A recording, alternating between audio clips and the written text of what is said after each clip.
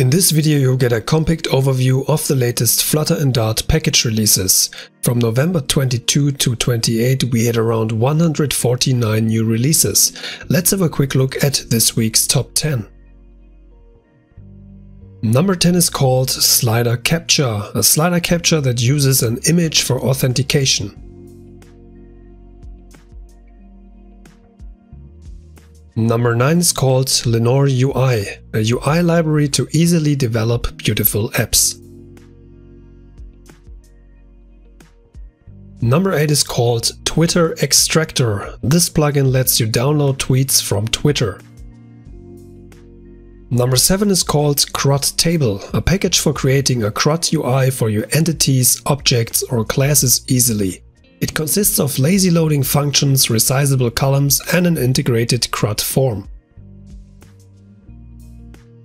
Number 6 is called Flutter Alice. Alice is an HTTP inspector tool which helps debugging HTTP requests. It catches and stores HTTP requests and responses which can be viewed via Simple UI.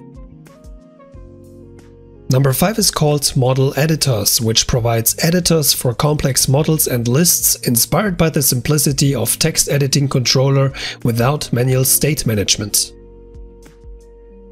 Number 4 is called Appinio Swiper, an awesome fully customizable Tinder card swiper which allows swiping in all directions with any custom widget, stateless or stateful.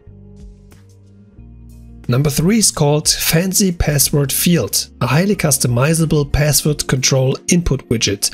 It has features such as password strength and rules validation.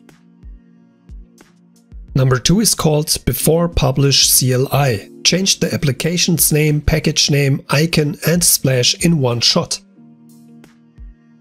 And last but not least, the number one of release week 47, the package, I'm not sure how to pronounce that, D3D, a Flutter package that displays large 3D datasets on a transparent canvas.